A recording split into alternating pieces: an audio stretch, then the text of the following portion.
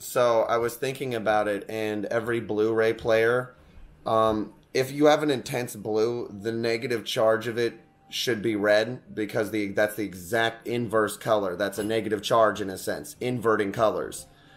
And so the Blu-ray players, every single one of them, why every disc is so blue, is because they don't have data encoded that just says it's supposed to be red here all the way around the disc because the disc spins, it reads it, or the laser moves across it. Either way, you know, they don't spin discs anymore because that'd be even more primitive of a Blu-ray player.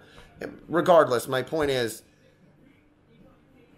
you have to have some sort of way of making that that inverse data red though or else it'll just be slightly more balanced instead of more balanced completely and I know you're just hiding these players. Come on, people. If I thought of it, you already did it. It bounces it off of the disc and then up into the other sensor reader that just receives the laser, and then there's the inverse color straight off the blue disc. Like, But- stop being a piece of shit. Of course, that's a more primitive way it's done, but like you're saying, since 2012, optical Blu-ray slash red ray slash every color ray disc readers and burners have been available for like 20 to 50 bucks. So I've always had them, but there's no software this entire time that um lets me actually watch a movie. Because you see what what they they're so advanced these um burners that it has every color of the rainbow of laser that it can produce.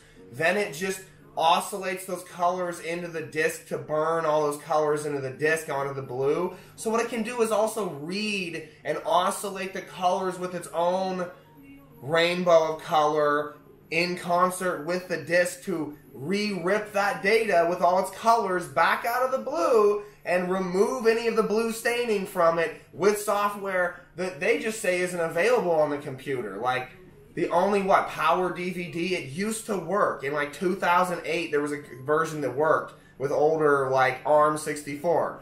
Now there's nothing that works with newer processing. You just can't do it. So that's an issue.